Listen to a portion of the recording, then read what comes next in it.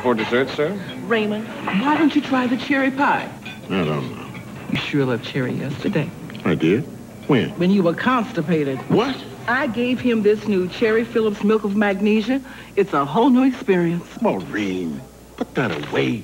Try the new Phillips, smooth cherry and new mint. After a hundred years, that chalky aftertaste is history. Wait till you taste it. Maybe they should put it on the menu.